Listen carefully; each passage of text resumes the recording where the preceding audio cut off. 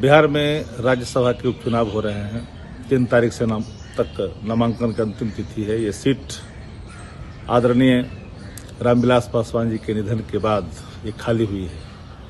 हम लोग का स्पष्ट मान्यता थी कि ये सीट लोक जनशक्ति पार्टी के खाते में जाती और आदरणीय रीना आदरणीय रीना पासवान जी को एनडीए उम्मीदवार बनाती ताकि रामविलास पासवान जी के प्रति सच्ची श्रद्धांजलि होती।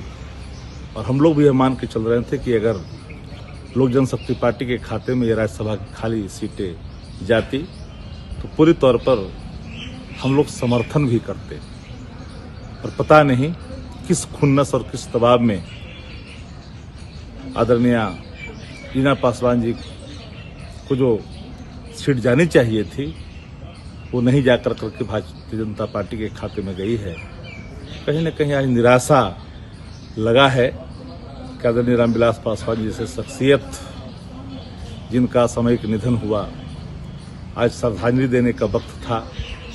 भारतीय जनता पार्टी और एनडीए को कहीं न कहीं रामविलास जी को भूलने का काम किया है।